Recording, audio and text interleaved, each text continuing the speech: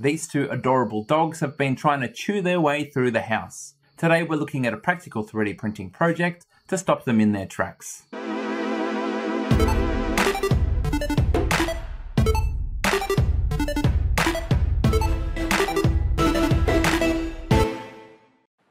People often ask me, since I have to print so much making videos for this channel, do I still enjoy it and what type of things do I print off camera?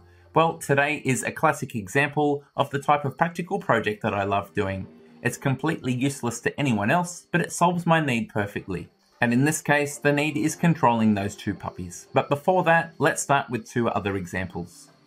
To tidy up some gym equipment, I mounted this barbell holder on casters and on the inside of a built-in wardrobe door. Out of sight and out of mind, but where's the 3D printed part? Well, that would be this jig I used to drill the holes in the metal barbell holder, and with this jig, everything was mounted accurately. Or how about this one? On an electronic drum set, a 3D printed base that clips onto the frame and holds the two pedals in position so they no longer slide away and across the floor. The main project for this video is to benefit my family, and since it's been a tough year for so many people for a variety of reasons, hopefully this is a feel-good story. In 2019, our black labs Weber and Sheba, who were a much loved part of the family for 13 years, sadly passed away. Anyone who's lost a beloved family pet knows what a hole that it leaves in your life. We filled the hole in our hearts with these two, miniature schnauzers, brother and sister, named Ricardo and Sophia. Here they are on the day we took them home just before Christmas last year and having their first walk. Recently, they've celebrated their first birthday and have become valuable members of the family, loving to cuddle with us as well as each other. Having been used to elderly dogs, we really were caught out by the puppy's energy and enthusiasm. When they play with each other outside, it's not a problem at all. In fact, it's quite adorable. It's more of the mischiefs they get up to inside the house that is the problem. And there is a lot of mischief. You might have heard of destructive testing. That's when you test a part so vigorously that it fails and you identify its weak points. Well, these two are absolute experts at that. If you need some shoes tested, they're happy to help. Same goes for bicycle helmets. In fact, I'd probably call them experts with those. They can also test items like drink bottles, and they offer a mail opening service too. But probably the greatest treasure that they find is when a doll is left out for them to chew. Typically, they like to remove the arms and then make some alterations to the feet. This seems pretty clear cut, but funnily enough, when I question them, neither of them own up to the crime. There's been multiple valuable lessons for my kids in the importance of packing things up, but to help them keep their things safe, it's really vital that I can control where the puppies can and can't go. Luckily in our house, we have a lot of sliding doors, and they work very well as barriers for keeping these two in place. There is one section, however, with a large opening, and that means no door to shut. I felt pretty clever when I had cable tied on a piece of mesh to their crate door, so when I opened it far enough, it would seal off the passageway. Problem solved. How very wrong I was. One day, they managed to swing the gate open and made some more alterations to one of my daughter's dolls. The band-aid solution is to place a heavy kettlebell so the door can no longer be opened by the puppies. This works great, but it's very inconvenient and what I really need is some sort of mechanism to latch the gate, is puppy proof, but can be hand operated easily from either side. And that's where we pick up this practical design project. The mounting on the mesh as well as the weird angles the two halves meet are quite tricky. So I've designed this in a way that I build it section by section to leave myself flexibility down the track.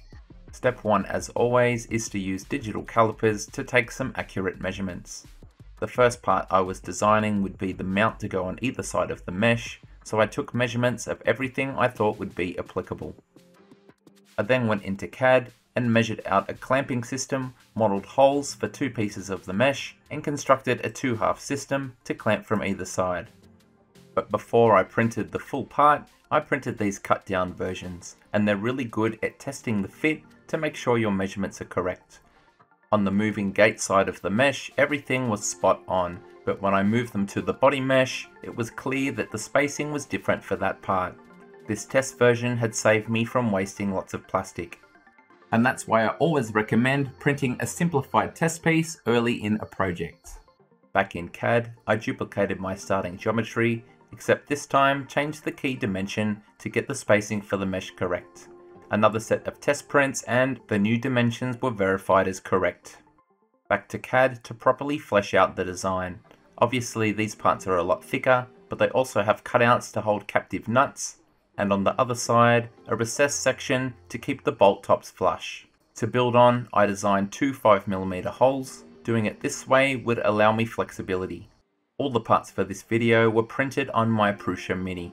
In addition to the Bondtech upgrades fitted in a previous video, I've since fitted a 0.3mm nozzle and done some pretty high quality prints. There is still some layer stacking inconsistencies here, but overall this is a really impressive print and very satisfying to play with. And that really awesome filament is Steampunk Rainbow PLA from Eryone. I switched over to black PLA to match the mesh and printed these at 0.15mm layer height. Pre-assembly was done on the bench and I designed the part that it would expand enough to slide onto the mesh so I didn't have to juggle nuts and bolts for final fitment.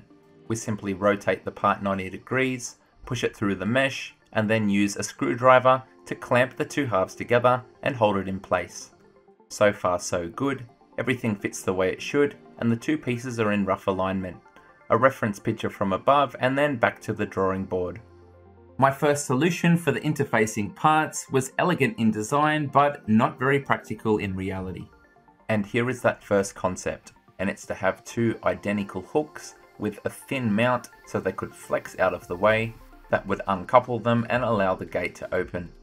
As you can see, the slight angle between the two halves meant that the hooks didn't quite line up, and this is a project that I want to have a final outcome that is predictable and reliable. One feature that I did keep for later designs was to have these slots for mounting and that would allow me to rotate and align things a bit better. This is one aspect that proved successful when the printed parts were actually in place. Needing a new solution, I really wanted to design a compliant mechanism. That's when you have controlled movement in your object by way of purposely controlled thin and flexible parts, even though it's just one piece. But in the end, I opted for the KISS principle, going for a simple latch that gravity would push into place. I modified my CAD to add this geometry that a latch could hinge from. It's a pretty simple design and would print without support. Printed and in place, it looked like it was going to get the job done, but my original rectangular opening latch receiver for the other side looked hard to align. So I modified the design to have a circular hole that would be the same from any approach angle. With this one printed and in place, everything seemed to perfectly align from one side to the other. So the last job was to design the latch. And here is the final shape. Overall it's quite simple with a couple of detailed additions. On the underside is a boss that protrudes to stop it dropping below horizontal. And because the protrusion which actually does the latching wouldn't be particularly strong with the way that it's oriented, I decided to put a hole in the top where a short M3 bolt could be screwed into place to reinforce the geometry. This part was designed to be printed without needing support material with its upper surface touching the build platform. With the latch printed, the first part of assembly was to screw in an M3 bolt. After this, I attached it to the pivot base, and this is a good chance to show how that hidden boss prevents the latch from falling down past horizontal. This will be essential for proper operation. With all of the parts only loosely mounted, I was pleased to report that the system definitely worked. This unconstrained flex should be temporary, but even with it in place, the two parts locate and the latch is secure enough to hold the gate in position. With all of the parts properly tightened, we have faultless operation.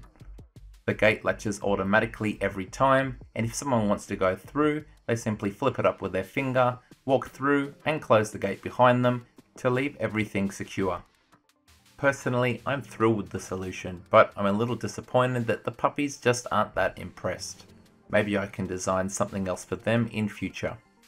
As I said in the beginning, a practical project that's absolutely useless to anyone else, but very satisfying for me to complete. And if it does need alterations, I can design and print as necessary. I'm just pleased the dogs can now do more of this without having to worry about more of this. That is, of course, if the kids remember to close the gate. Hopefully, you've got some time off over the holiday period to spend with your loved ones and maybe even a little bit of time to complete a practical project of your own. If this is you, please let me know what it is down below in the comment section. Thank you so much for watching, and until next time, Merry Christmas and happy 3D printing. G'day, it's Michael again. If you like the video, then please click like. If you want to see more content like this in future, click subscribe and make sure you click on the bell to receive every notification. If you really want to support the channel and see exclusive content, become a patron. Visit my Patreon page. See you next time.